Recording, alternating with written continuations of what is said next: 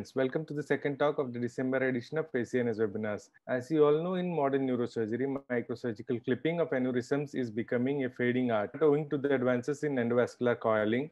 But quoting the words of Professor Michael Lawton, who said, no matter how much ever endovascular coiling advances, some aneurysms have to be clipped. So in this genuine and righteous effort, there are several surgeons around the world striving hard to keep this promising art alive today. The speaker for today is such a great neurosurgeon and the legend in the field of neurosurgery. Ladies and gentlemen, it is my great honor to introduce you to Professor Juha Hernesniemi. He is the Professor Emeritus, Department of Neurosurgery, Helsinki, Finland. Professor Juha currently works at the Henan Provincial People's Hospital, Yuha Juha Hernesniemi International Center for Neurosurgery, University of Zhengzhou, China. Professor Yuha, in his vast experience career, has set a benchmark for perfectionism during his tenure at the Helsinki. He has operated more than 5,000 aneurysms and published more than 1,000 articles during this period. His priceless gift to the young neurosurgeons around the world, titled 1001 Videos from Helsinki, is freely available on the net. Professor Juha has a huge fan following throughout the globe and recently he had an entire issue dedicated to him by one of his earlier colleagues professor Ayub Cherian in his newly launched journal titled the ignite. We are really thankful to professor Juha for accepting our invitation to be a speaker at the acns webinars professor Juha is going to talk about microsurgical clipping for basilar tip aneurysm the second speaker for today is our honored guest from china professor hong tao Professor Tao is the vice president of the first affiliated hospital of the Nanchang University, China. He is a renowned authority in the field of neuroendoscopy. He is the chairman of the neuroendoscopy committee of the neuroendoscopy branch of CMDA and also the homecoming of the Europe and America. He is the chairman of neurosurgical branch of Jiangxi Medical Association and also vice president of the Neuroscience Association of Jiangxi Province. We are so thankful to Professor Tao to have agreed to be a speaker on our webinars. The chair for today's webinar is Professor Albert Sufianov, who is the Professor Honorary Doctor of Russian Federation. He is the Chief Physician and Medical Director of the Federal Center of Neurosurgery, Tyumen, Russia. He is the head of Academic Department of Neurosurgery of the First Moscow State Medical University, where he performs more than 800 surgeries per year. He is an active member of the VAN as well as of the IFNE, EANS, ESPN, and the Neuroendoscopy Committee of the WFNS. He is the ambassador of UNESCO Chair for Teaching and Research in Digital Anatomy, Paris Descartes in Eastern Europe. We are so glad to have Professor Sufianov today with us to chair this webinar. On behalf of the Education Committee of the ACNS and the President, Professor Yoko Kato, I would like to welcome today's speakers, Professor Juha Hernesniemi and Professor Hong Tao and Professor Albert Sufianov to this online platform of ACNS webinars. Dr. Liew Boon Seng from Malaysia is, is my co-host for today. And with that introduction, may I please hand over the proceedings to Professor Sufianov. And uh, give possibility for, uh, for, for young residents to, to study these uh, great, great topics. So thank you very much. Thank you for inviting me here to speak. I will speak about uh, clipping of uh, basilar aneurysms. So I will speak about surgery of basilar tip aneurysms. Like I was uh, chairman until uh, 2015 in Helsinki, professor and chairman of neurosurgery. There and after that, I have been around the world, South America, USA, Indonesia, Nepal, and now in China, third year in China. So this is new experience in China. I'm working in Henan Provincial People's Hospital, Zhengzhou, China. Zhengzhou is the capital of Henan province with around 11 million inhabitants with two huge hospitals, actually two largest hospitals of the world are located in Zhengzhou University Hospital and our Henan Provincial People's Hospital is the second one. So this is the background, what I'm speaking. So I have been working in two centers in Finland, in Kuopio, Eastern Finland, 17 years, and as a chairman in Helsinki, 18 years, and we made extremely good and profound databases on all the aneurysms we have treated there, more than 18,000 patients with 22,000 aneurysms with the exact data and what is more important, also long-term follow-up. Out of these uh, aneurysms. Around 2,000 were in posterior circulation, circulation aneurysms, and I have operated out of them around more than 600 patients. My total experience in cerebral aneurysms is more than 6,000 patients, and one, one tenth of them are posterior circulation aneurysms. So aneurysm of basilar tip we count, aneurysm of the basilar bifurcation, origin of superior cerebral artery, and then P1 aneurysms. This is the distribution of the aneurysms in the Finnish databases. You see that the middle cerebral artery aneurysms are the most common, but also high number of vertebral basilar aneurysms, 16%. And this is due to high, uh, high frequent use of CT angio. So we see all the time, all the arteries. And out of the vertebral basilar aneurysms, the basilar tip 45%, then vertebral pica 45%, and then in the middle, vertebral basilar junction and basilar trunk around uh, 10%. So generally they are rather rare, the basilar tip aneurysms, 5 to 8% of all aneurysm patients. Usually they are small or medium sized. And these basilar bifurcation aneurysms, they have three different directions, anterior directions, superior direction, and posterior direction. And the posterior direction is the most difficult to treat by clipping because it is close to the perforating branches. Basilar superior cerebral artery and P1 aneurysms are usually free from perforators, but sometimes you have to take care of them. Very small aneurysm of the basilar tip and very large giants are difficult to treat. To preserve the perforators is crucial. Otherwise, you will have most severe complications, even occluding one perforator may cause the patient to be very heavily invalid.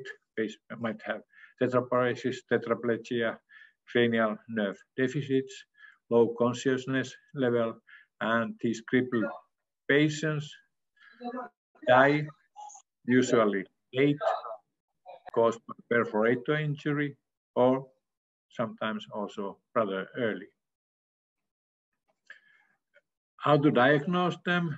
We used in Helsinki CT angio 15 years during my time as only the diagnostic means.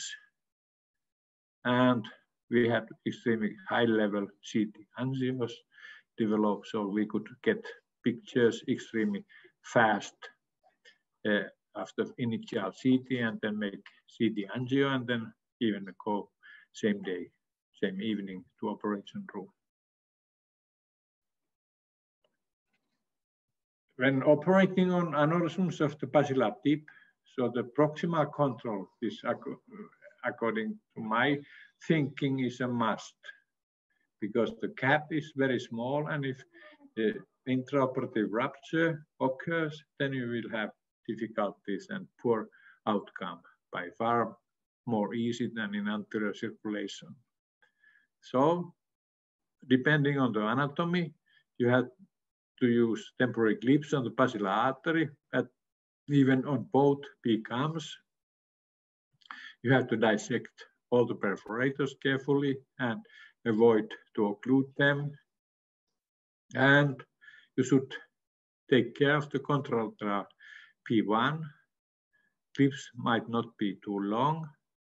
What I learned from my teacher, Dr. Drake, so the clip must be one 0.5 times the base of the aneurysm. This is very simple geometry, but you might not think so often on that.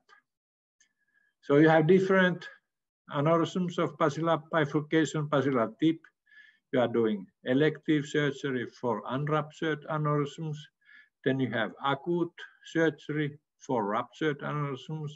We operated on in Helsinki acutely, also those at the basilar tip, ruptured aneurysms, and as emergencies, if there were many repeated bleedings at the same day, so we operated even in the night. And then we have very difficult aneurysms, large, giant, fusiform, where you have to plan the operation extremely well. So, of course, surgery depends on the state of the patient, how the patient is. I included also poor grade patients in the operative series because I tried always to uh, serve patients well and and try to uh, save lives. Then, as discussed, very small aneurysms are difficult because there are very little substance for the clip and giant aneurysms are of course difficult. And ruptured, unruptured state of the wall is important. If calcifications are there, the clipping might be more difficult. In endovascular surgery, the state of the wall is not so important. So I have used subtemporal uh, approach for these aneurysms learned by doctors, late Professor Charlie Drake and Professor Peerless. So this is a good approach for those aneurysms located at the posterior clinoid or below posterior clinoid. You have to use always spinal drain, otherwise you are making a big lesion in the temporal lobe by retraction. And in those high basilar bifurcation, basilar tip aneurysms, I have used the Transylvian approach. Spinal drainage is a must when you do subtemporal approach, otherwise you will make a lesion in the temporal lobe. So this is one of the most important things. And when you are dissecting the following uh, videos, we will see how you creep slowly below the subtemporal uh, lobe to the tentorial edge, and then you get the CSF out, and then you have more space. And cutting the tentorium, you have to cut behind trochlear nerve. And usually I have used a, broad supporting spatula on the temporal lobe, holding the temporal lobe in the place to have the access to the basilar tip better. And sub dissection is used. And how to find the basilar bifurcation. Oculomotor nerve is the highway to basilar bifurcation. Oculomotor nerve, nerve is always between P1 and superior cerebral artery, and this is the only thing that is certainly true in the world. When you have red, angry, swollen brain, you have to have good anesthesia and then spinal drain. I have seldom used ventriculostomy in the basilar tip aneurysms. And now we go to videos. This is the first video is the ruptured basilar bifurcation aneurysm operated on day one or two after rupture.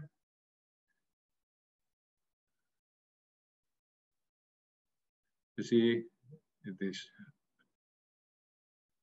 around eight millimeter, I would say, from these pictures. Here you see better. It is only five millimeters in breadth. And this is the patient is in park bench position. I have used this uh, bigger flap. Dr. Drake used to make a thick craniotomy for his cases, but I don't like it because you have more temporal muscle atrophy. And uh, here you get better access to the, here we are coming to the tentorial edge. You see a lot of blood in the CSF spaces, and then you see the trochlear nerve at the tentorial incisura, opening the, cutting the tentorium behind trochlear nerve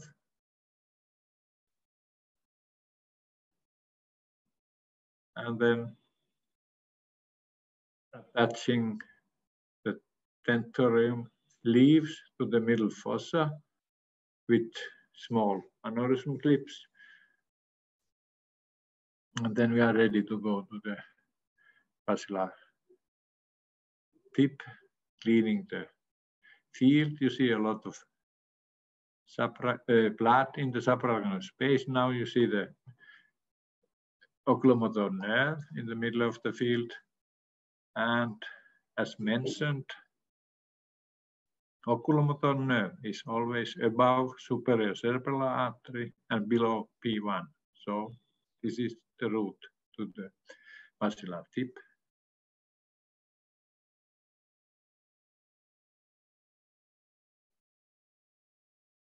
And anatomy is, of course, difficult, fresh subarachnoid hemorrhage.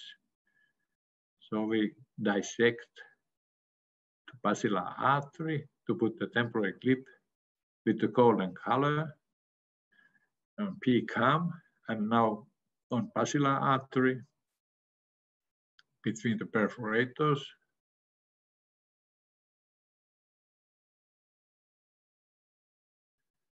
and then we go to the aneurysm. This aneurysm was directed anterior and superior, so perforators are not there. And uh, now the first clip is going there on the base of the aneurysm.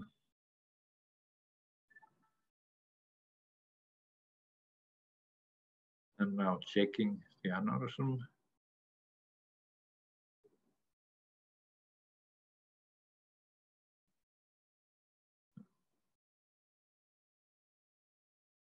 Taking the temporal clips out, PCAM, basilar, temporal clip out,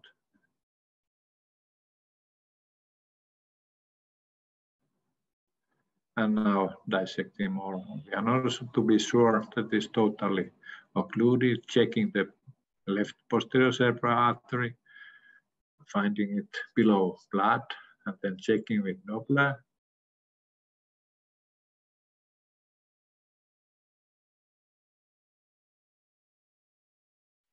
and uh, now opening the and cutting the specimen of the aneurysm for research, putting a second clip there,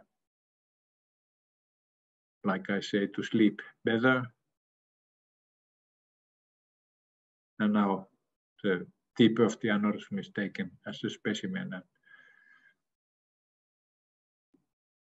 cleaning the field, taking the tentorial clips away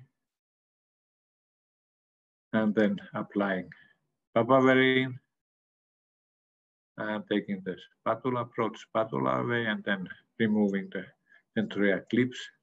There's a bleeding, so you inject glue and this is post-operative picture. The patient had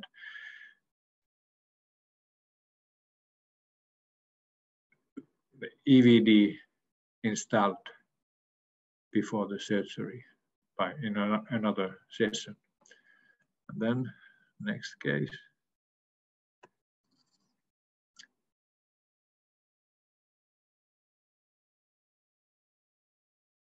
This is ruptured basilar artery, superior cerebellar artery, aneurysm. You see fresh subarachnoid hemorrhage, and now larger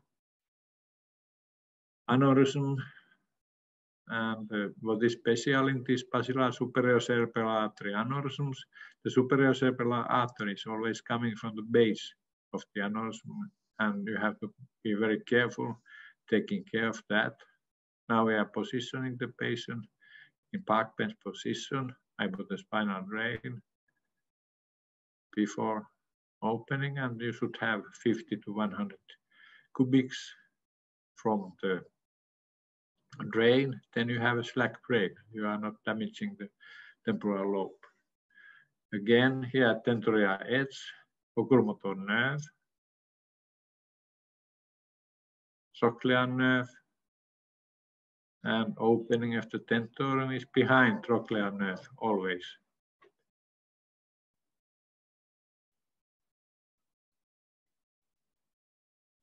And you should take care not to uh, cut the superior cerebral artery. This is below the tentorum also.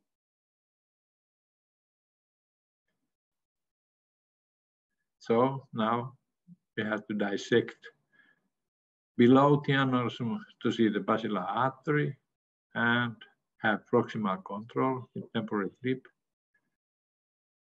I have operated these cases from the site where the aneurysm is projecting. Dr. Drake made some large aneurysm from the contralateral approach.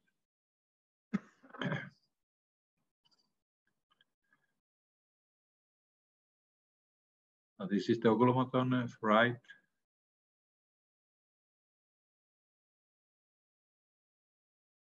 And uh, because of the anatomy, you should put the J-formed clip on the base of the aneurysm, uh, taking very much care that the superior cerebral artery is uh, preserved.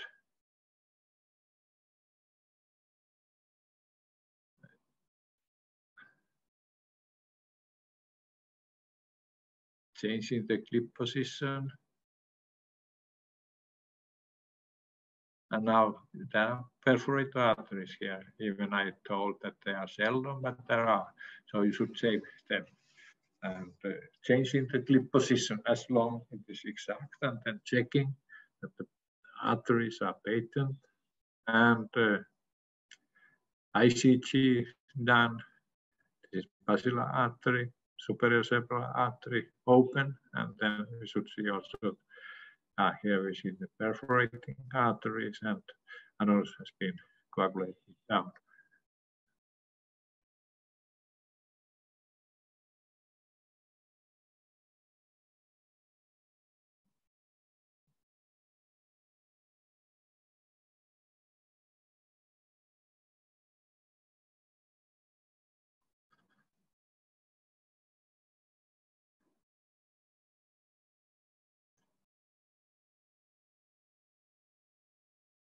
So next case is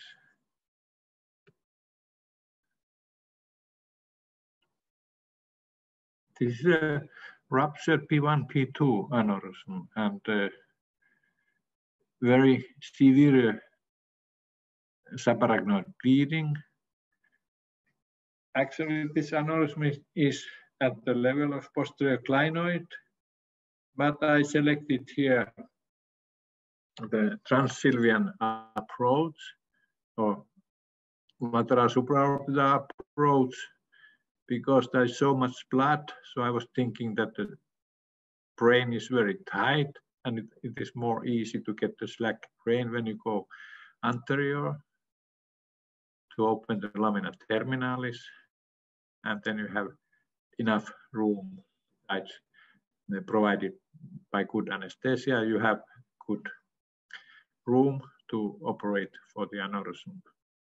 It could be done also by subtemporal approach. So this is the case. Right-sided lateral supraorbital approach.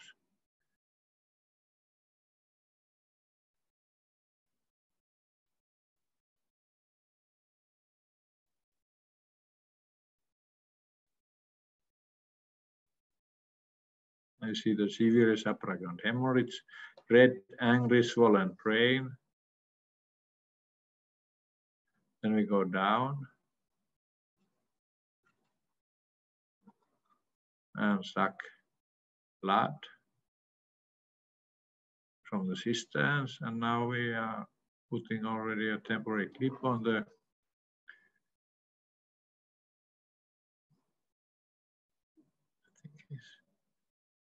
become?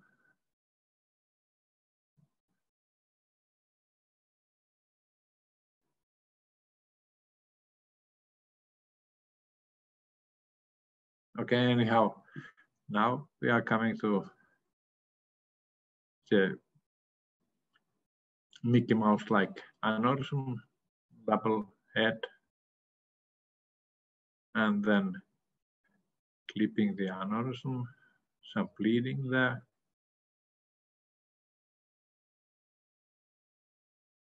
And taking temporary temperature out. This was in PCAM. And then ICG.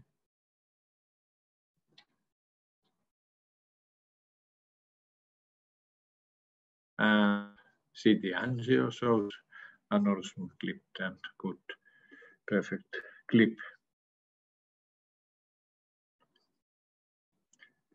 Then I have two videos more.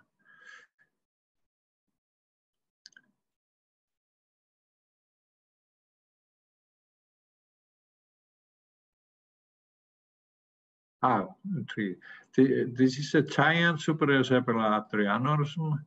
It looks frightening, but when you look carefully on the aneurysm, you see that it has extremely small base. So we are doing subtemporal approach and then having the temporal clips in place and then dissecting the rather small base of the aneurysm.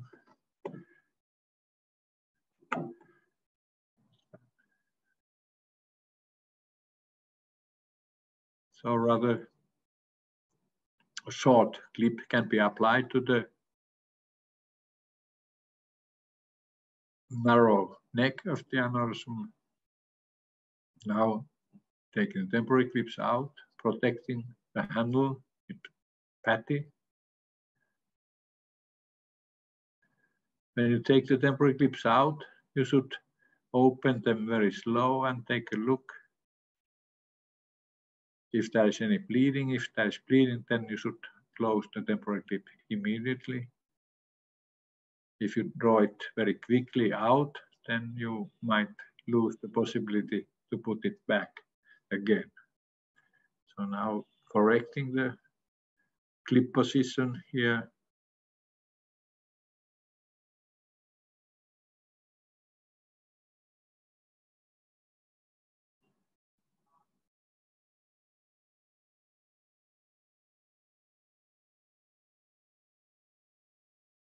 And taking temporary clips out.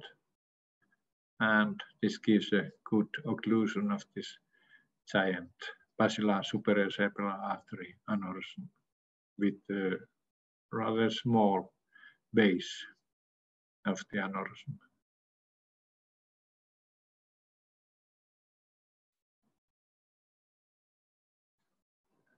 So this is a giant basilar bifurcation aneurysm, 68 years old female, has also middle cerebral artery aneurysm, but this aneurysm was compressing the brainstem. So we again right-sided subtemporal approach, we go down. Now the anatomy looks clean because there is no bleeding. Cutting the tentorium again, clips to hold tentorium on the middle fossa and then checking the situation. Here is the broad base of the aneurysm, temporary clips going to basilar artery and peak hams. You cannot clip that kind of giant aneurysm without temporary clips and then opening the aneurysm. Of course, there is no return now. You have to clip the aneurysm when you have opened it. First clip in giant aneurysm should be fenestrated clip because it is not slipping out. So here going, slowly wiggling the clip around the base of the aneurysm. And then I note that the clips are taking the posterior cerebral artery, occluding it. So I'm traveling backwards. If you have one clip, even not perfect in place, should not take it out, but use it to, to put the second clip besides it. And this is done here. So several steps of clipping, adjusting the clips. You see there is a bleeding still from the opened aneurysm, but slowly the situation will be so that I have two long clips around the base of the aneurysm. Now, of course, you should measure the aneurysm base before the operation. If you don't have long enough clips, you should not operate on these aneurysms because here, for example, you need extra long clips to occlude all the base of the aneurysm. And then checking with Doppler that the arteries are open and here DSA was done also to confirm that the aneurysm is gone. One, one more video. This might be the very important in the discussion because here you see what happens when you just coil these large aneurysms at the basilar tip. The coils are compacted and buried inside the brainstem, and here you have big recurrence of the aneurysm, but also coils compacted. So patient came from abroad, so we assessed it that in this case, we could clip the aneurysm. Pre-sigmoid approach was used. You will see that the patient has subarachnoid hemorrhage and then treatment of it with coils. So there is a lot of scarring. And this makes the dissection difficult. Patient symptoms were slight tetraparesis, worsening all the time.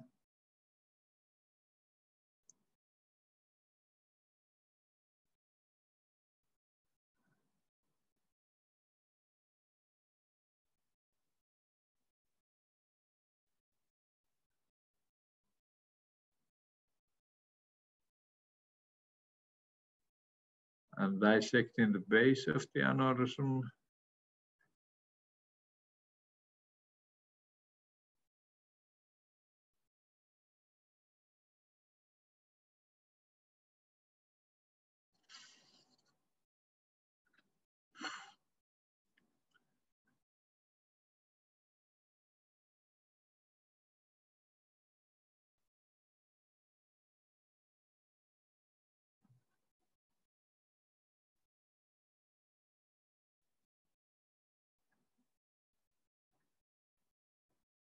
Okay, long, tedious dissection of the scarring to see the anatomy, to free the arteries.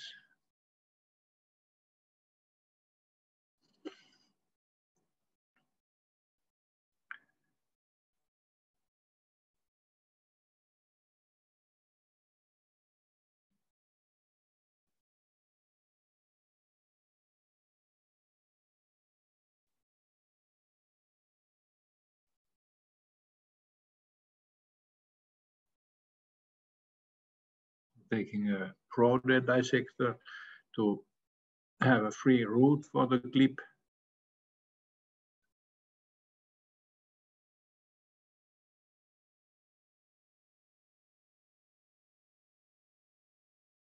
And now a ring clip is used as a first clip to take the base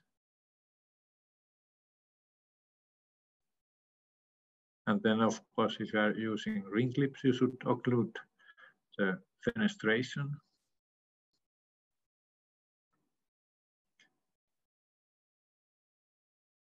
Second fenestrated clip going there. If you tailor them so that the fenestrations are not at the same level, so you have to put a straight clip anatomy seems extremely difficult because the scarring, compaction of the coils, pre-sigmoid approach, close to the aneurysm, taking the arteries. We were rather happy when doing this surgery. We had the feeling that we were successful, but the patient was worse after operation. And I think because of the scarring, we lost one perforator there's a lot of artifacts in the post-operative pictures. We cannot say anything about the possible brainstem infarction, but I suspect because occlusion of one important perforator, the patient was crippled in the bed and went to his home country and uh, remained so long time. I suspect he died later, many months later, this state. So we couldn't couldn't help him. And this is the difficulty. If you have pushed something inside the aneurysms, so it is 10 times more difficult to treat the aneurysm by uh, clipping. So these are postoperative pictures. Of course, you cannot see any, any brainstem infarction in CT.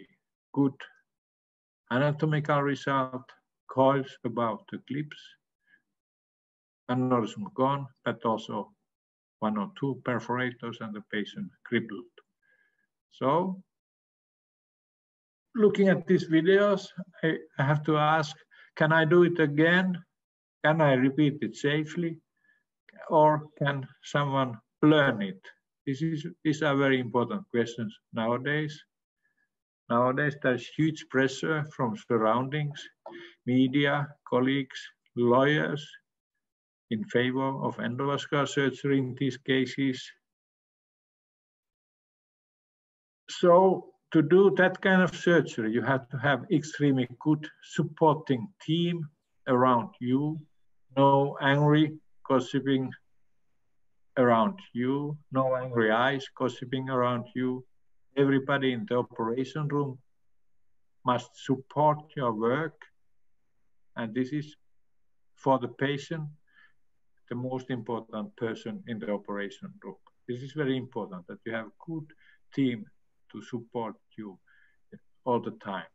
And good teamwork is extremely important in these cases. No one can do surgery alone. Good scrub nurse, good anesthesia, and others.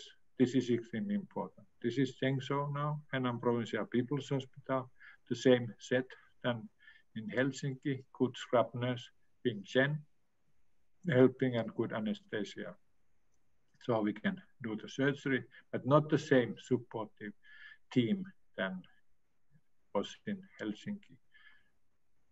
So this is from classical picture from Chicago, 1988. My teachers, Professor Yasargil, 63 years old, Professor Drake, late Professor Drake, 68 years old, look at these guys, they are still at high age, after thousands of operations, they are still learning anatomy. This is very important message.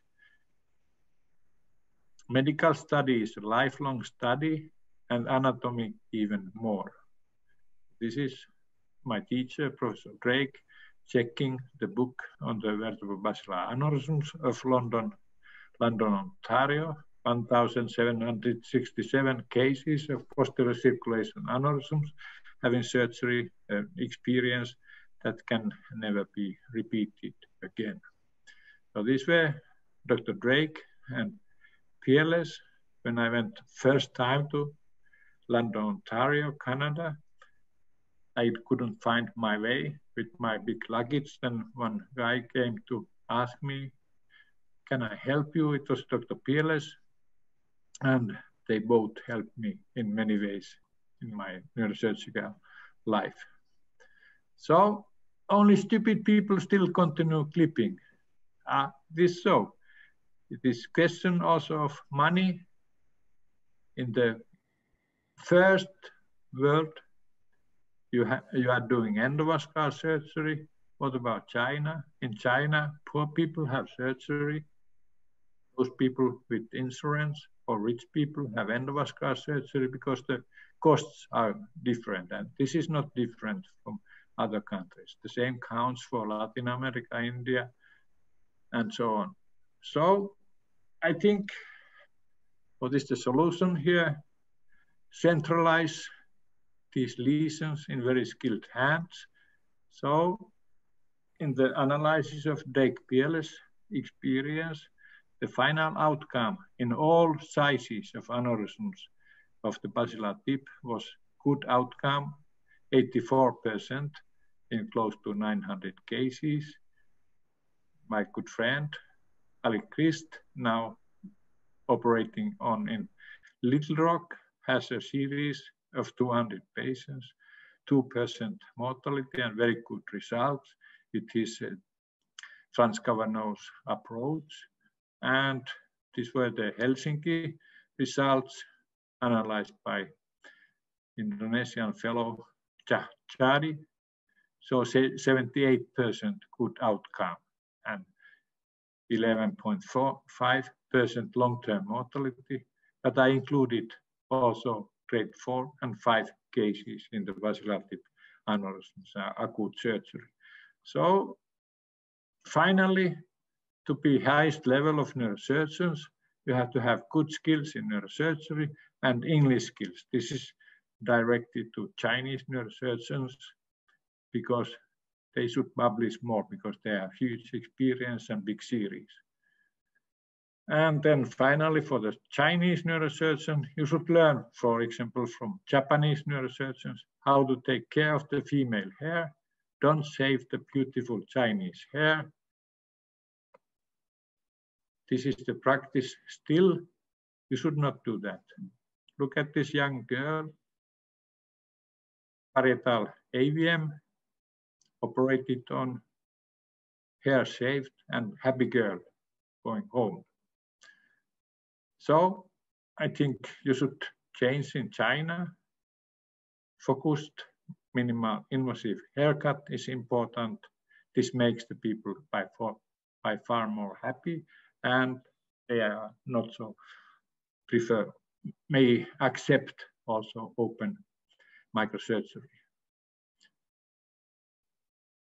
After all, I still think that the perfect clip on the base of these aneurysms remains the best treatment.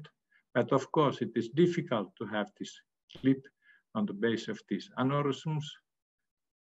Learning curve to clip aneurysms is long and in China, you have also terrible atherosclerosis, making the clipping more difficult than in other countries. So advertisement, all my videos are in internet, free to get, and also the Helsinki Microneurosurgery book in many languages are in free available. Thank you very much. Thank you very much. Thank you very much, Professor Juha Hernesniemi, for your excellent, amazing presentation. A lot of experience uh, we received from your lecture uh, because uh, uh clipping is difficult, but clipping of basilar aneurysm tip is most uh, difficult uh, clipping uh, topics now for the for the for the neurosurgery. And uh, so why uh, only very rare neurosurgeon in the world operate this kind of aneurysm surgery. Even in our our clinic, we have um, also hundreds hundreds of cases so not so many cases about the VST because no sort enough experience. So thank you very much for your amazing lecture. And I, I, I hope your lecture give big opportunity for the learning uh, this difficult uh, side of neurosurgery and uh, this kind of uh, vascular surgery will be more widely and widely disturbed, uh, um, uh, more widely, widely have experience in the world. Thank you very much. Thank you very much. Thank you. I think we'll take one or more, one or two questions before we move ahead with the second talk.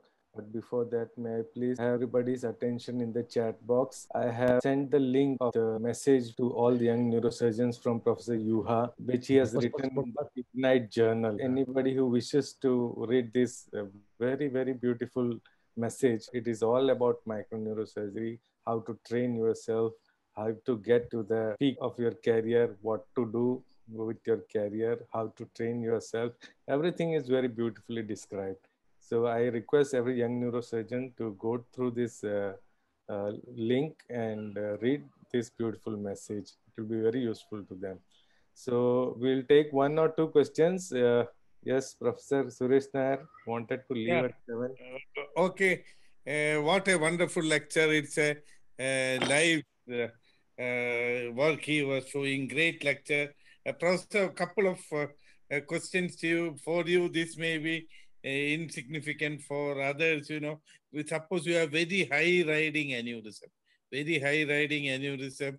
Do you do this extradural clinoidectomy and then open open the unroof the optic canal, mobilize the optic nerve medially to get into a, uh, picture to the interpeduncular fossa because you know the internal carotid artery blocks your access uh, to, to the depth. So to mobilize the internal carotid artery, do you take out this uh, clinoidectomy, unroof the optic canal, open the ring, mobilize the, uh, after opening the uh, optic nerve sheath, mobilize the optic nerve, um, internal carotid artery medially, and then you have access up. Uh, that is one question to you. And very low riding aneurysms. Uh, do you do anterior petrosectomy? First question, if the aneurysm is very high, you don't have to do a clinoidectomy. You go just transsylvian or lateral supraorbital approach. So because if it is very high, I'm not do, doing any clinoidectomy. This I know what you are describing is the uh, transcavernous route to this yeah. aneurysm. This is different. Oh, I, I have done pre-sigmoid approach in these cases. Okay. Pre-sigmoid. With lateral, lateral petrosectomy. Uh, okay. Like was shown in this case uh, after coil compaction. It was a pre-sigmoid approach. So it will come very close to the. I, I have not done endoscopy except in 90s to open the lamina terminal. So I have no experience about endoscopy. I think it is a good method and with the uh, two, two channels, you can do a lot of surgery. Thank you. Thank you, Professor Suresh Nair. That was a wonderful discussion. May I please ask one more question to Professor Juha? Over the years, how have you incorporated the bypass techniques into your practice? I, I have to confess that I never learned well because uh, maybe I have told many times that the, when I was a resident, so my chairman was against learning of bypasses, then he was extremely happy then when the bypass study of Barnett and Piles came, so it killed all the bypass surgery. So I learned at the age of uh, of uh, 45 or 50, uh, more than between 45 and 50, I learned the bypass surgery. This is too late. I learned, I have done around uh, 100, more than 100 bypasses, but I never learned that kind of good techniques like I have seen, seen like Supin and so. It's a bit. I can do it in my mind, but my hands are not following it. So okay. this is one of the my big failures. So you should think you should begin to train very early, mm. already during your medical studies. This. Thank you. This, uh, the bypass techniques, and this is very important to learn early and devote time for that when you are young. Thank you very much. Professor Zubin, any comments from you? Yes, I agree with uh, Professor Juha. Uh, bypass, uh, you should uh, uh, learn uh, at early age and when you your hand is very stable and then you got very confident and about this surgery and when you practice more and more you uh, you got the positive feedback and you will uh, feel even even more confident at this surgery. Yeah. Thank you. Yes, we will take one more question before we proceed to the next talk. Yes, my dear friend Liew, would you like to say something? Yeah, uh, yes, uh, Prof, thanks for a very uh, nice presentation. I remember I attended one of the talk by Professor Juha. Uh, we should learn with a high magnification. So my question to Prof is in vascular surgery, what are the I mean the degree of magnification that you prefer, the most uh, best working uh, magnification, and also in terms of a light intensity, because the higher light intensity will cause damage to the brain. So what are the best uh, light intensity for your work, Professor? Thank you. So I'm using the highest magnification of the operating microscope. What is here? What is our microscope? 15 to 16. So it is uh, takes some time to learn it, but when you get used, then your hands are going down. You are doing well. I'm using always 100% light intensity. Why? I can use it because I'm using the mouth switch. So I'm moving all the time the microscope. It is not focused in one place. So this is one of the advantages of mouth switch. You, you can use uh, highest magnification, uh, highest intensity of the light. 100%, I always ask. Thank you, Professor. It's all the time moving. Thank you. Thank you very much, Professor Juha. It was a great lecture and we learned a lot from you. Your uh, message to the young neurosurgeons was uh, very, very, very touching and very informative. Thank you for uh, continuing your global neurosurgery education through the grand rounds along with Professor Zubin. We are, the World Neurosurgery is indeed uh, indebted to you for your efforts, especially during this pandemic. Maybe go to the second talk, Professor Thank you very much. Thank you. Okay, okay. Thank you very much, Professor Juha. Uh, thank you.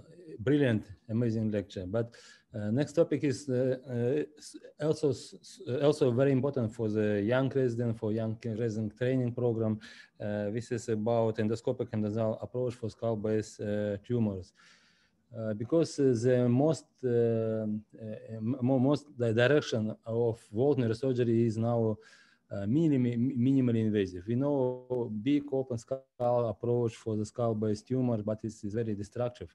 So why uh, the all neurosurgeons in the world uh, try to find the way, and this one of these way is uh, the the and, and another approach. So why uh, I, I want to introduce the great expert in this kind of uh, surgery, Tao Hong, about his experience of, about this kind of surgery, uh, this kind of surgery.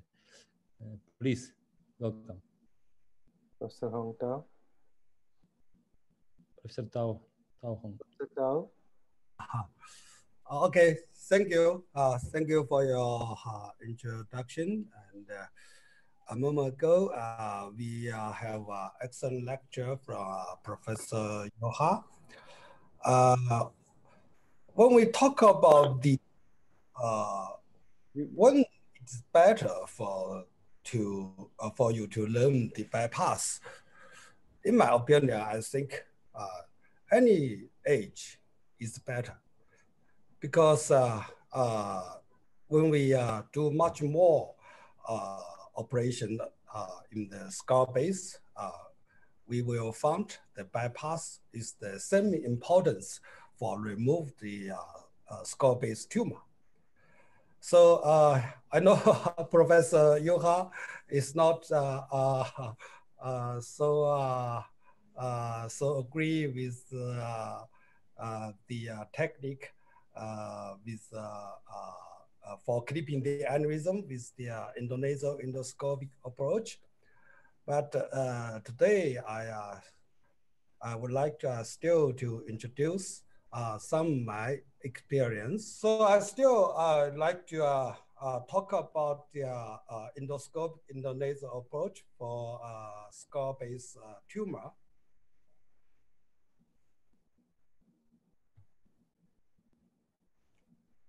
So well known about the intracranial approach, but for the actual uh, cranial approach, uh, maybe uh, not so well known about this uh, uh, approach, particularly for the uh, anatomy.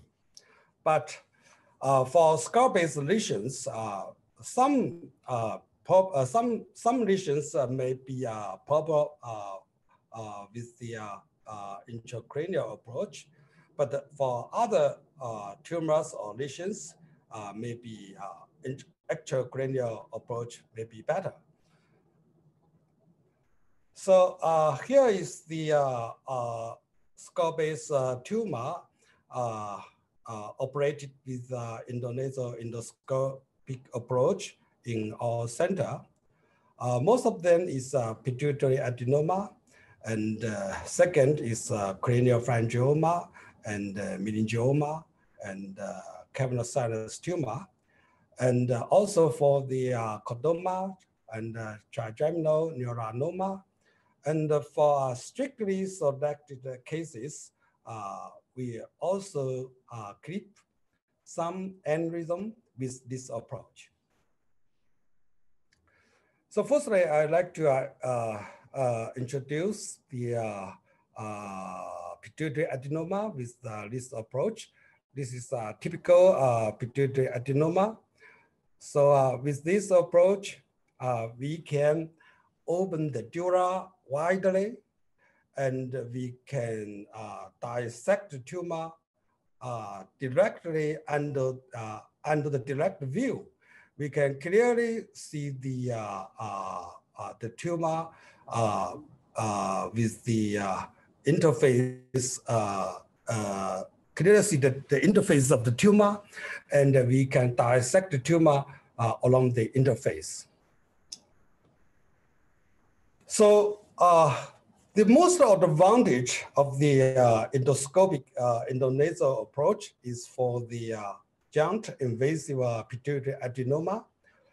Uh, we divided this uh, complex invasive pituitary adenoma into five corridor according to their extended, extending directions. the first corridor is A corridor, the tumor uh, uh, invade into the sphenoidal sinus. The second uh, we call B corridor. It is uh, invaded inferiorly down to the uh, uh, clivus bone. Uh, the third is C corridor, that is uh, sinus corridors. And D is diaphragma sellae corridor, and E is for dorsum sellae corridors. So this is a, a typical uh, invasive and uh, giant pituitary adenoma. So uh, we uh, mark uh, Uh, this corridor with uh, different uh, color. So uh, it is it can cut or surgical procedure to remove these more multi-corridor tumors. So this is the video uh, for this uh, patient. Uh, after we removed the tumor uh, uh, within the sphenoidal sinus, then we opened the dura and uh, we firstly we removed the tumor within the tola, the, the turcica sella. So here we can see the pituitary gland then we uh, remove the tumor uh, around the uh, ground. Then next, we uh, go to the uh, cavernous sinus uh, from the uh, medial to the lateral. At this point, we can see a breach in the medial wall of the cavernous sinus. And here we can see the carotid artery so we just uh, remove the uh, tumor uh, between the uh, carotid artery and the uh, abducens nerve. So all of this are under the uh, direct uh, view. So again, we are back to the medial approach. we can resect the tumor in the posterior compartment and the superior compartment. So at this point, uh, this is the posterior area of the cavernous sinus. We can also uh, resect this, uh, uh this tumor uh, from the medial approach. And uh, this is inferior hypophyseal artery.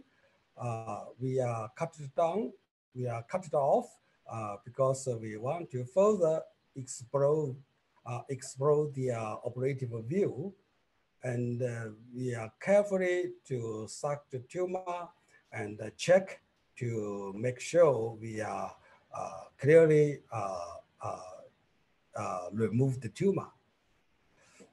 So we go to the, the superior extension, the tumor extended into the intracranial cavity. We further open the dura mater and uh, we can see the optic nerve. Then we open the uh, olecrator membrane. So we can see the uh, tumor and the tumor without uh, the protection of the diaphragma. So we carefully uh, suck the tumor under direct view so we can see the uh, tumor in case, um, in case the vital structure, uh, such as uh, pituitary stalk here, and we can see the flow of the the ventricle uh, is became very, very thin, but protect this uh, uh, very thin flow is uh, very important. Otherwise, we will easy to into, into the the ventricle. So we keep uh, sucking. So uh, the tumor is soft, so it's easier to suck, but we have to take careful uh, for the uh, uh, vital, encased vital structures. So we can see the uh, interface between the tumor and the arachnoid membrane. Then we keep going.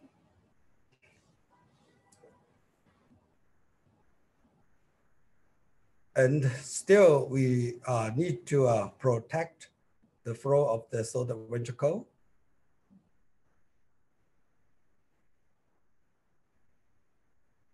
And at this point, we move to the uh, back of the uh, up crevice. Uh, here we can see the encased P1 and uh, the brainstem.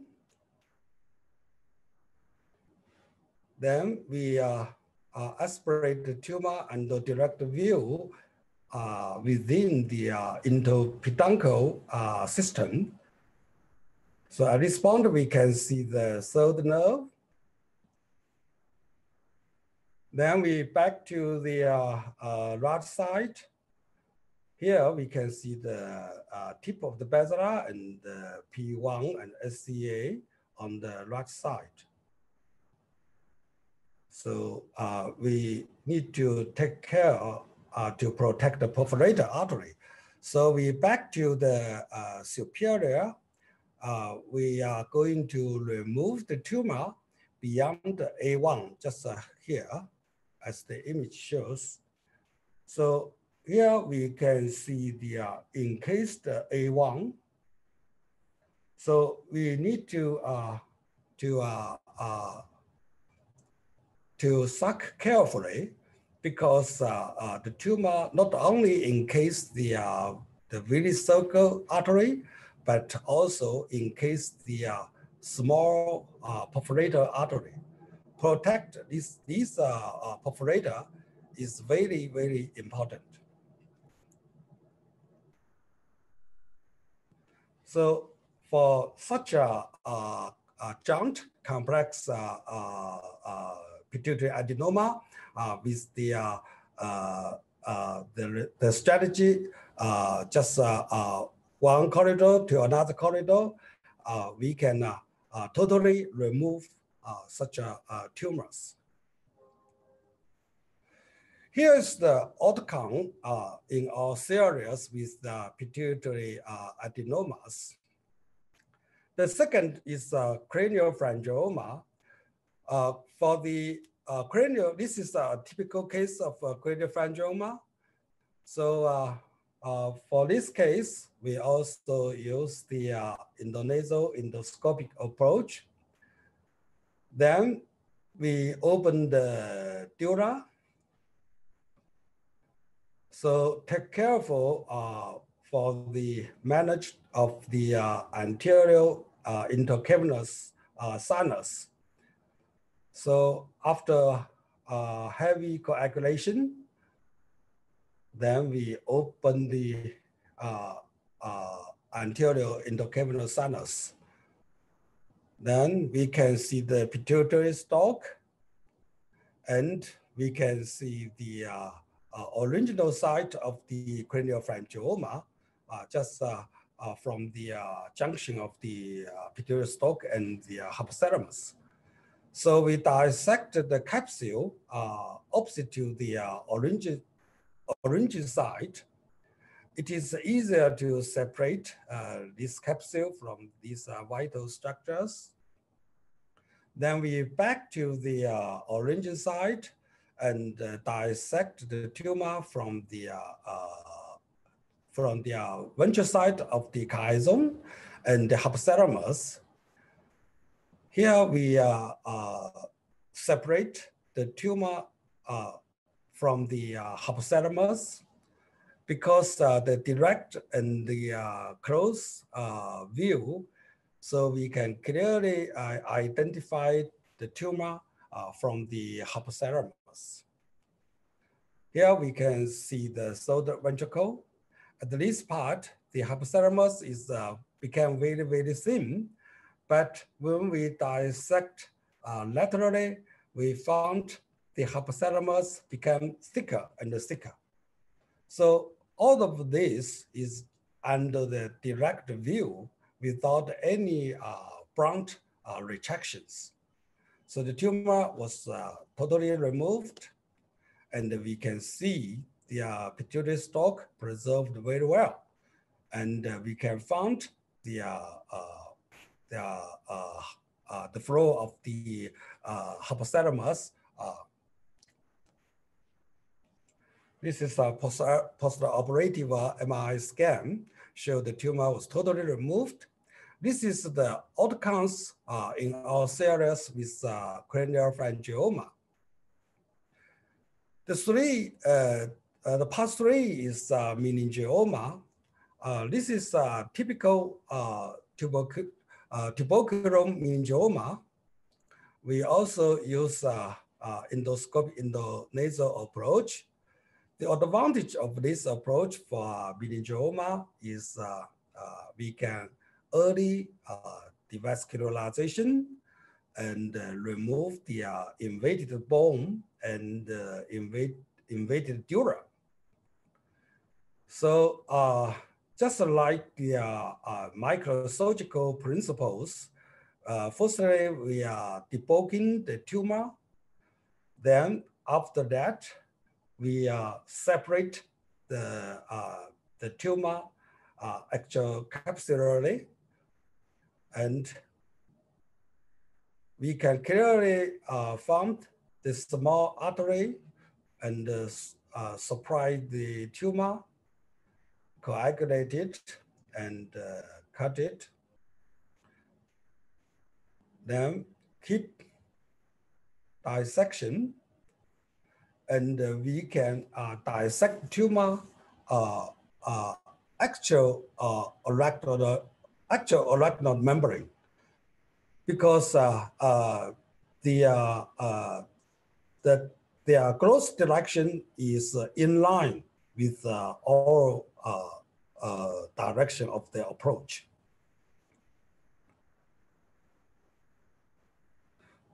So at this point, we need to take care to protect the complex of the anterior uh, communicating artery. And also we can see the, uh, we can clearly see the uh, interface between the tumor and the chiasm and the interface between the uh, uh, tumor and the pituitary stalk. So the tumor was totally removed, but with uh, uh, no change of these uh, vital structures. This is uh, the post-operative MRI scan. This is uh, another case uh, with uh, petroclival meningioma. And also these patients, we also use endonasal endoscopic approach. So uh, after remove the bone medial to the carotid artery, then we uh, expose the, uh, uh the uh, posterior uh, clinoid process. After Uh, we remove most of the uh, posterior uh, clinoid process, we can expose the upper part of the tumor base. Then we uh, open the uh, dura medial to the uh, carotid artery. So at this point, we can clearly see the uh, abducent nerve and the uh, dural canal here. So this is the uh, base of the tumor. We uh, uh, increase the opening of the dura uh, in order to uh, totally expose the base of the tumor. Then we uh, coagulate the base of the tumor and, and debulking the tumor.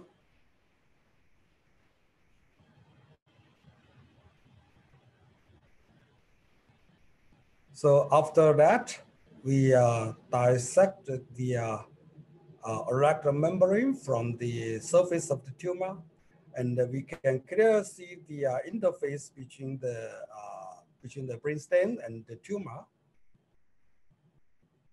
and very carefully to uh, dissect the tumor from the brainstem. Here we can see some artery attached to the surface of the tumor. It is uh, not uh, difficult to dissect them from the tumor.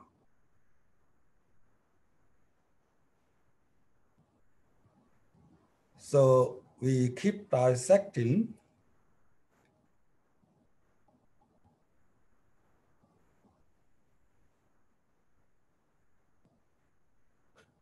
And here we uh, found uh, uh, artery uh, close attached to the uh, attached to the uh, uh, surface of the tumor.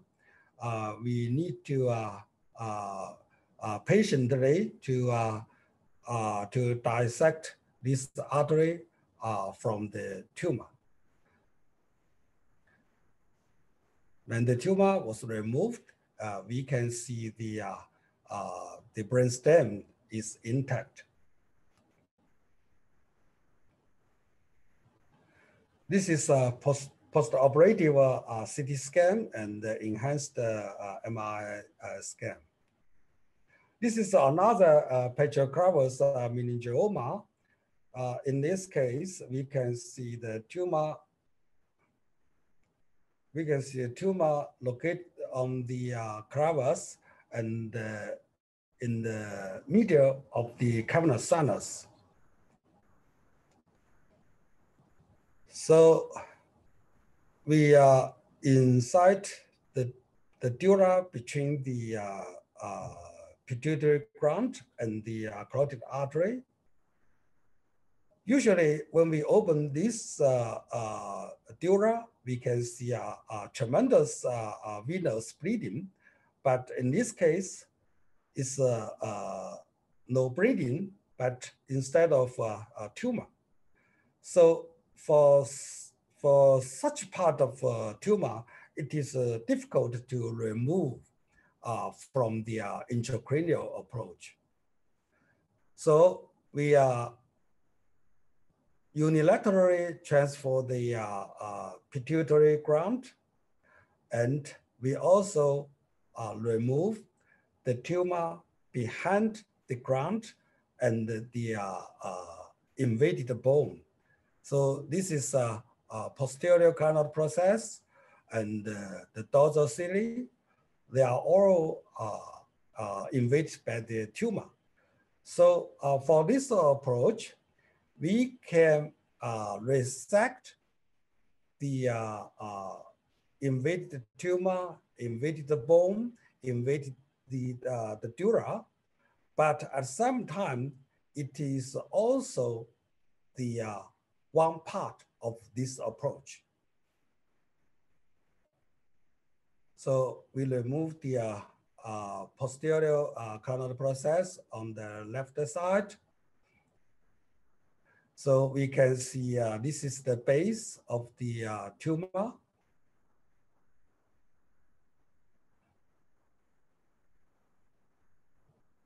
So after remove the tumor, we can see if we push the uh, gland uh, downward, we can increase the superior cavity.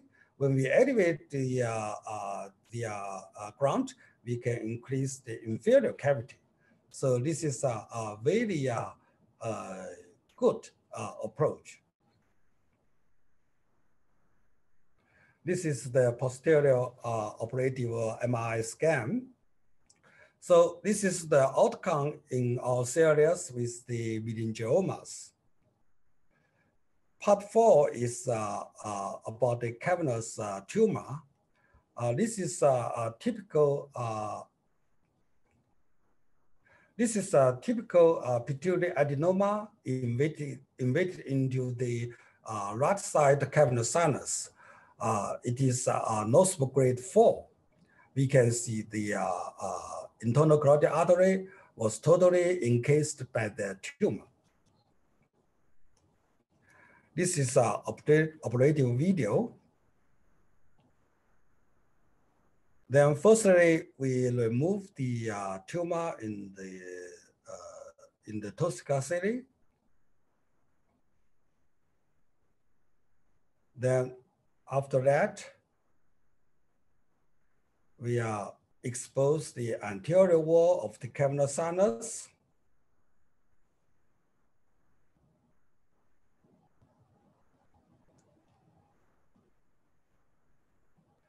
Here we can see the uh, carotid artery.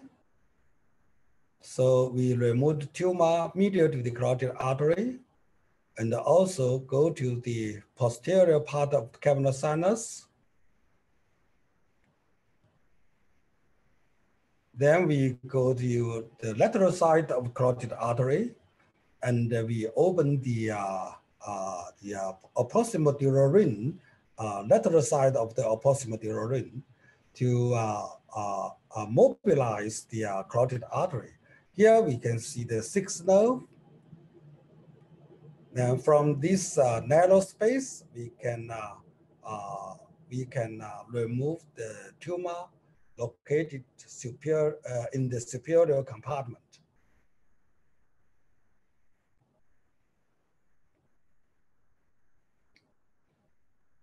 Then we uh, removed the tumor below the uh, obtrusion nerve. We can see the V1 here.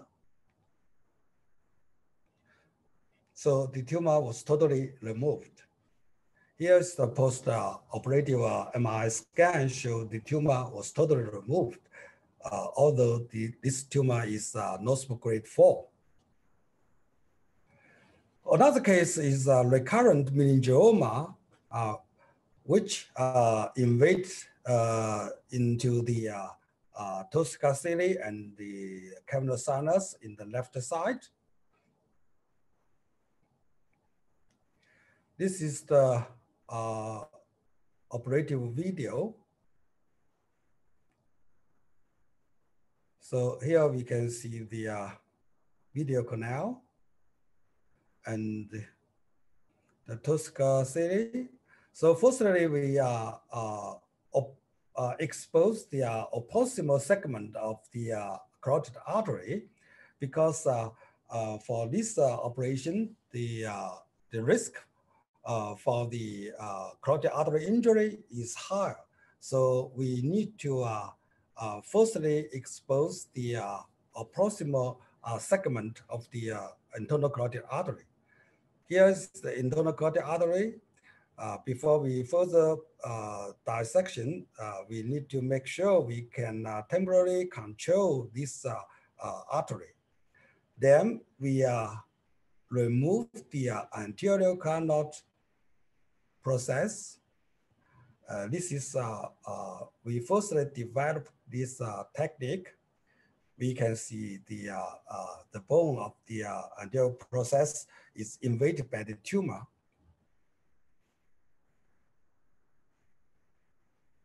And we also see the dura is also invaded by the tumor.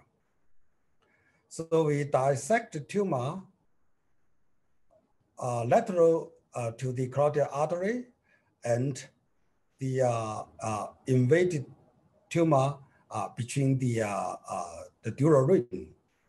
Then we go to the medial side of the carotid artery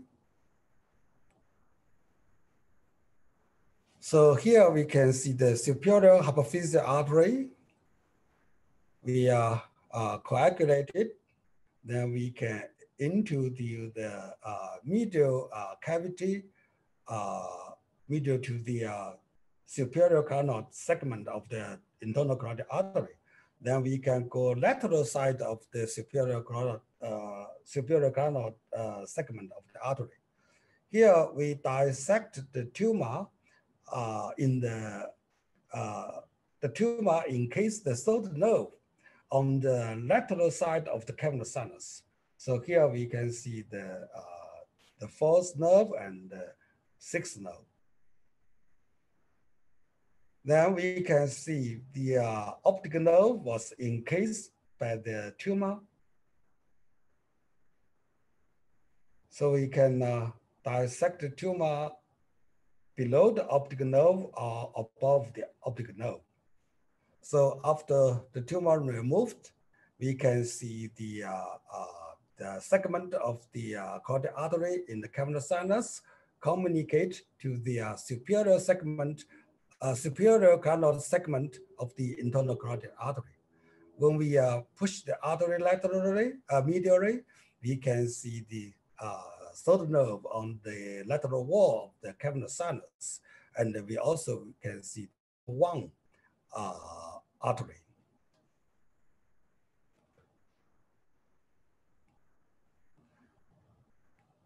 This is a post-operative MRI scan and the CT scan. So this is the outcome uh, in our series with uh, cavernous uh, sinus tumor. Then we go to the trigeminal neuronoma. For this uh, uh, tumor originated from the uh, Gasserian ganglia, uh, we can uh, approach, we can remove the tumor with the uh, intranasal endoscopic approach. So we are we are open the dura lateral to the uh, uh, internal carotid artery to into into the Meckel's cave. This is uh, within the Meckel's cave. So after debulking the tumor, we are dissect the interface of the tumor medially and the superiorly. So on the lateral side of the tumor, we see uh, numerous uh, uh, nerve branch uh, attached to the surface of the tumor. Under the direct view, we can carefully uh, dissect this uh, branch of the nerve away from the tumor. Although we don't know this branch belongs to V1 or V2 or V3, but we can protect most of these nerves from the tumor. So after tumor removed, we can see the, uh, the Gasserian ganglia here and the, uh, the entrance of the uh, uh, trigeminal nerve into the Meckel's cave. This is a post uh, enhanced uh, MRI scan. So this is another case uh, with uh, uh, uh, left side schwannoma, uh, but co coexist with the uh, uh, unruptured ACOM aneurysm. So this is a dumbbell shape of the tumor here. And from the uh, CTA, we can see the, uh, there's uh, uh, aneurysm uh, in the uh, ACOM uh, with anterior inferior projections. So after consult with the patient and the relatives, they are agreed to manage these two lesions at one stage. So firstly, we are going to uh, clip uh, this uh, uh, anterior communicating artery uh, aneurysm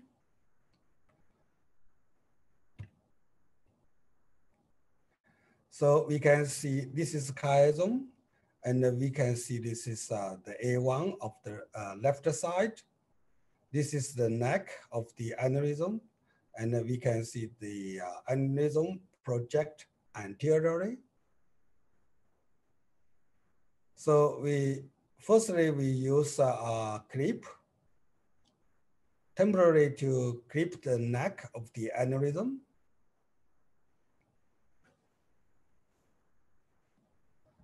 Then we further dissect the aneurysm from the neighboring uh, brain tissue.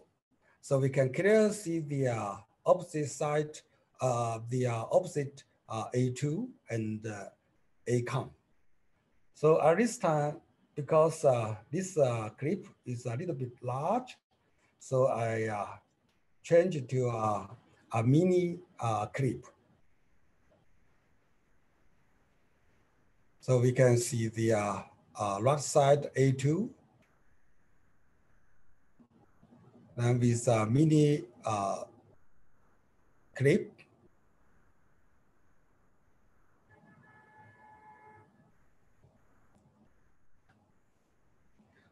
So the aneurysm uh, was totally uh, clipped and uh, with the patency of the A1 and the ACOM.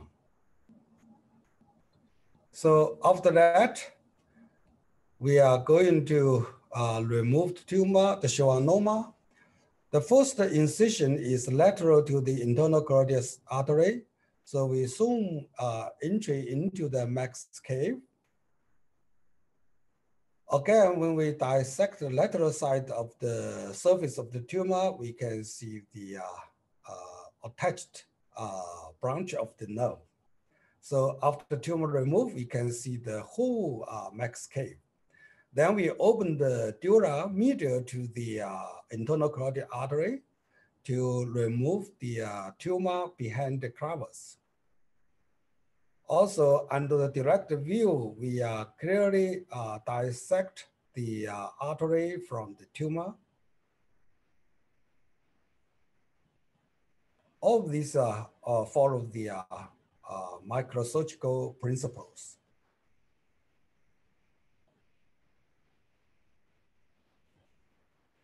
Then we uh, keep dissection and when we recheck the tumor, uh, we still uh, keep the uh, endoscope deep to the back of the tumor.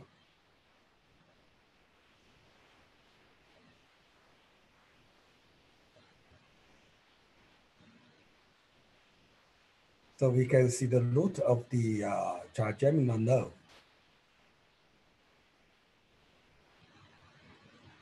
Then the tumor was uh, totally removed and uh, removed from the Meckel's cave So this is a post-operative CTA, uh, MRI, showed the uh, aneurysm was totally clipped and the uh, artery A1, A2 is patent and the tumor was removed. So this is the outcome in our series with trigeminal neuranomas. So many people will ask me the questions uh, uh, for you uh, deal with such kind of uh, complex uh, uh, skull-based lesions. once the the in, internal carotid artery injured, how we can manage that? So several years ago, we developed a technique according to the microsurgical technique uh, in the uh, transcranial approach. So uh, we developed a, proximal control and distal control. So for distal control, we have two sides. One side is distal to the distal dural ring. Another uh, distal control is uh, to the uh, proximal dural ring. For the uh, control, we uh, select the segment just on just in the up third one segment of the paraclival segment of internal carotid artery. So this is uh, uh, operation uh,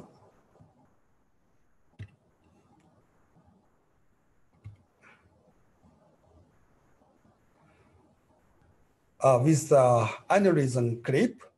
So we firstly we uh, expose the uh, parasellar uh, clavus uh, uh, internal carotid artery in case the uh, uh, rupture of the uh, internal carotid artery. So before we further uh, have our procedure, we need to make sure uh, we can temporarily uh, control the uh, proximal uh, carotid artery. Then we keep going to, to the next step. So this is a, a recurrent tumor. We evaluate these patients bef before the operation. Uh, we think this is a high risk of internal carotid artery injury. So before we uh, uh, remove the tumor, we uh, expose the uh, proximal side and the distal side for temporary control.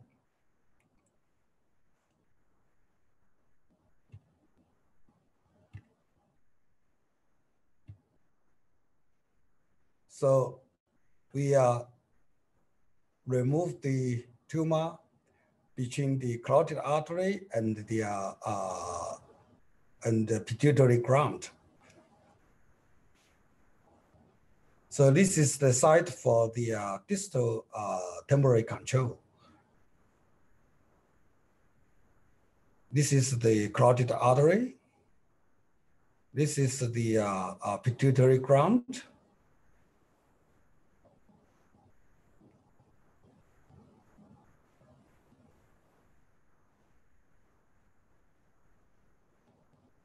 So we totally remove the tumor surrounding the carotid artery. Fortunately, uh, in this patient, the carotid artery uh, is not injured. Another technique we developed is uh, uh anterior clinoid, uh, uh, clinoidectomy. So for this technique is uh, a little bit risk uh, for because uh, uh it's surrounded by the uh, carotid artery optic nerve. So we need to carefully to drill the bone.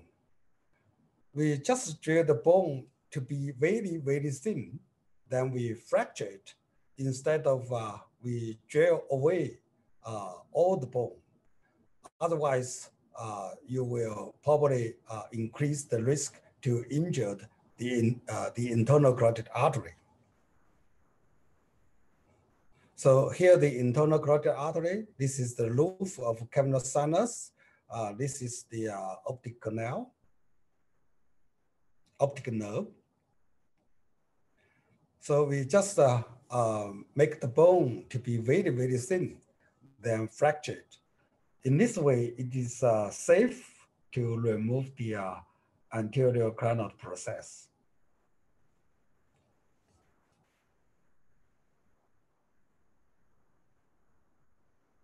So we uh, remove part of the uh, uh, uh the anterior clinoid process. So for this technique, we can approach to the lateral side of the carotid artery uh, traditionally, the, uh, uh, the limit is uh, located medial to the carotid artery. But with this technique, we can expand the limit uh, to the lateral side of the carotid artery. So with these techniques, uh, uh, I, just want to show one one case with the internal carotid artery injury. Uh, this is a recurrent chordoma.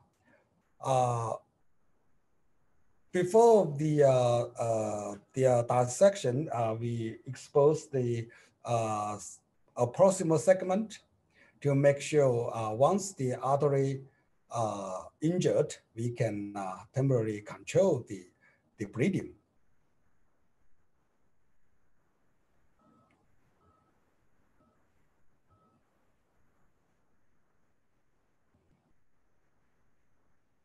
Then we uh,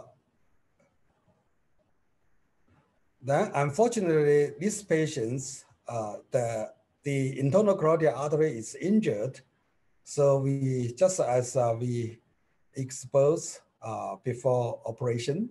So we clip the uh, pericardial artery and proximally and uh, distally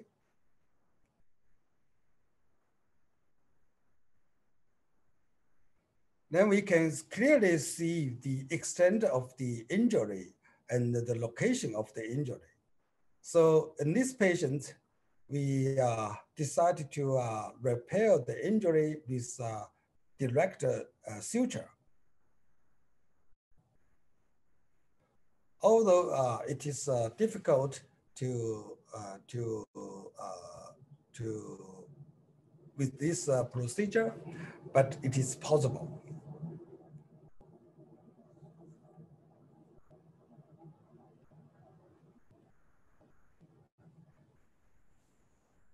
So with three sutures, the artery was uh, uh, complete repaired.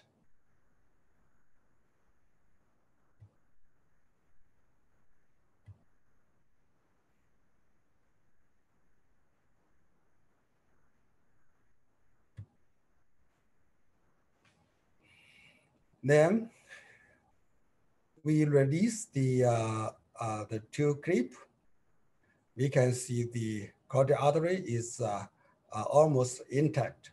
So we can keep to uh, remove the tumor.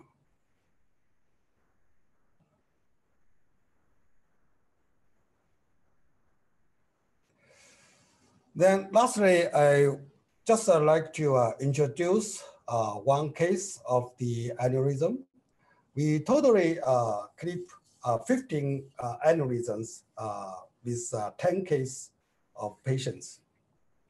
This is a, a patient, uh, 47 years old female, and uh, he uh, she has uh, three uh, left paraclinoid aneurysms. From the DSA, we can see uh, one paraclinoid aneurysm project medially, another uh, paraclinoid aneurysm project laterally just uh, superior uh, to the uh, anterior clinoid process and uh, with a very, very uh, tight, uh, very, very tight, close to the anterior clinoid process. And the, the third aneurysm is within the cavernous sinus. So this aneurysm, we are not going to manage it. So we can clearly see one aneurysm uh, project medially, another aneurysm project laterally, and the third aneurysm is within the cavernous sinus. So, so here we can see uh, the uh, a very complex relationship between these structures. Uh, the third nerve here the uh, aneurysm here, the uh, ophthalmic artery here, the uh, carotid artery here. So only with this approach, we can clearly identify uh, this uh, complex relationship between the, those structures. If we uh, uh, clip transcranially, we seldom can see these structures. So with clearly uh, we clearly see this uh, uh, relationship so we can manage it uh, better. So firstly, we uh, dissect the aneurysm project medially.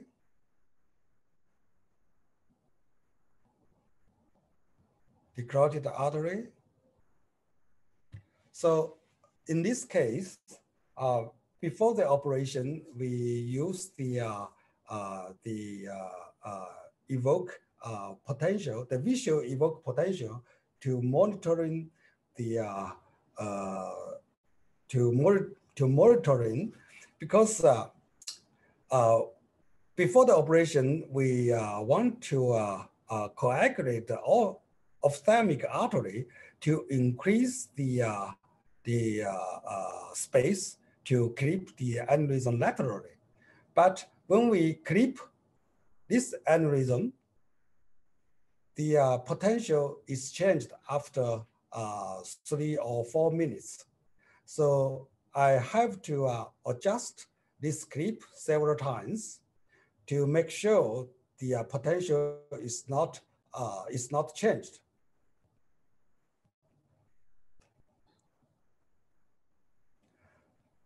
So we are we are going to uh, uh, clip the uh, uh the aneurysm project laterally. So before that, we need to uh, uh, do the anterior clinoidectomy. So we can see we can enter into the lateral side of the carotid artery. So at this point, we open the distal, uh, the lateral, the lateral side of the distal dural ring, just like the side uh, after we remove the uh, anterior clinoid process uh, with the intracranial approach. So we, we are meet in this point. So at this point, we can see the anterior part of the, uh, the neck of the aneurysm. So after elevate, elevate the uh, optic nerve, you can see the superior part of the, uh, the uh, neck of the aneurysm. So at this time, we are temporarily control the proximal uh, side of the internal carotid artery. Then we are under the ophthalmic artery, we are clip the uh, aneurysm project laterally.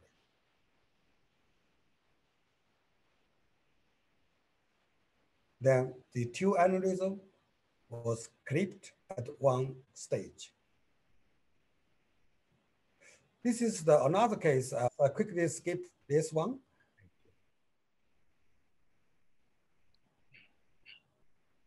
So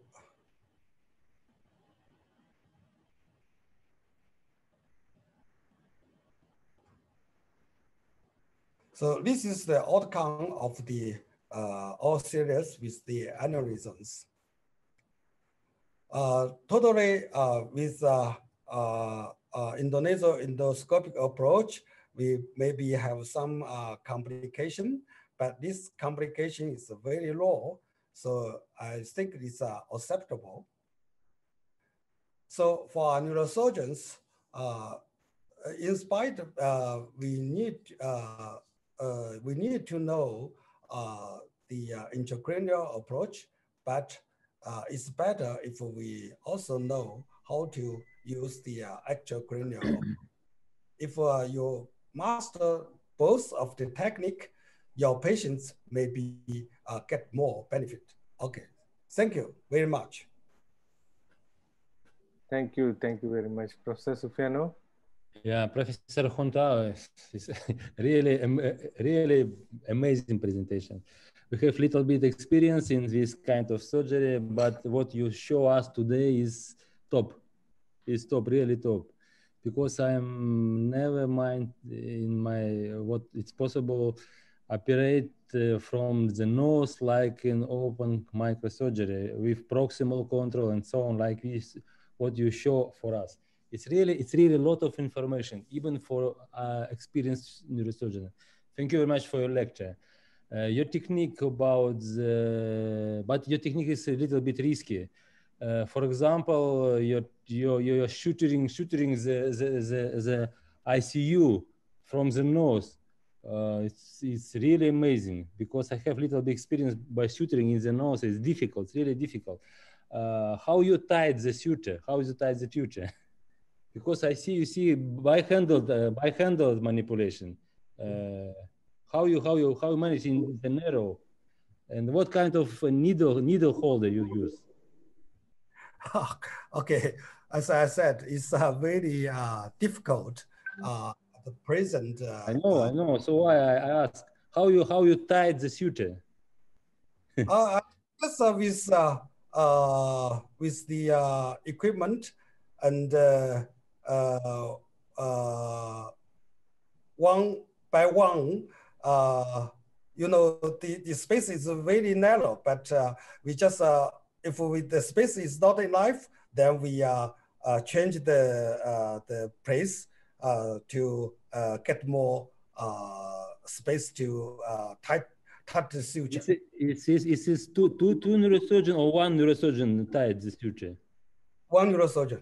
One neurosurgeon. So, so uh, two hand uh, technique. It's uh, a hand of the uh, endoscope, another neurosurgeon to suture the Okay. uh, procedure. Uh, Okay, okay, okay. What kind of hemostatic may be used? Other other type uh, type of hemostatic you use? Maybe FloSeal like this. Maybe how you how you stop the cavernous sinus uh, bleeding? uh, there's a How several stop cavernous methods sinus bleeding? to, to stop the uh, cavernous bleeding. Uh, one is uh, you can elevate the position. Uh, the second, you can uh, use the uh, uh, cotton. But the best, uh, uh, best way to manage the bleeding is the SurgiFlo. That's a mixture of Okay. SurgiFlo, yes. Okay. Right. And uh, what is the key, for your opinion, key key procedure in uh, a manage of the ICU? key, ICU. ICA. I, ICA, ICA, ICA, sorry, ICA management key. Uh, the key, the key step to manage this uh, ICA injury, uh, in my uh, opinion, is uh, we developed the, the technique for a proximal control and distal control. Because uh, uh, after uh, totally stop the bleeding, so we can observe the, the injury site with the extension, the size and the location. So we can decide uh, which way is the best way to uh, manage this uh, injury. Um, for most of the case with the internal carotid artery injury, we use the coagulation. And some, if we are, uh, before, we, before the operation, if we are evaluate the uh, collateral circulation, uh, the, if we- the patients had uh, good uh, collateral circulation, probably we will sacrifice the artery. But for some cases, just like I show you, we just repair the injury with direct suture. Okay, thank you very much. But for me, for my opinion, also need a large uh, bone resection abo- uh, around the IC, IC, ICU. This is also very important. Large bone uh, dissection because Yes. ICU's area, yeah, yeah. It's- Review yeah, is yeah. uh, very important. Yes. Yeah, one of the most important keys uh, uh, dissect, uh, resection of the bone around. You must free freedom. You must have freedom. Yes. It's uh, no very limit. No, no, no, no limit resection. No limit resection. Not afraid resection of the bone around Yes. the this kind of with. Thank you very much. Excellent, excellent presentation. Excellent. Thank I you. Thank really you. enjoy. Thank Thank you.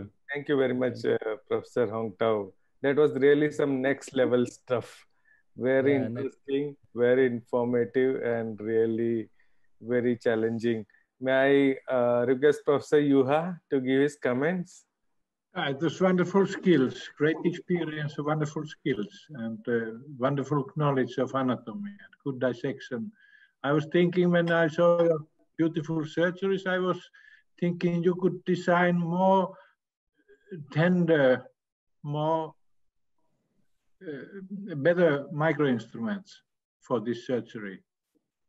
You could, you should do more, more tender and more sophisticated instrument because they look uh, rather rude under your the beautiful field. So better schizos, better dissectors, and certainly, certainly you can get them.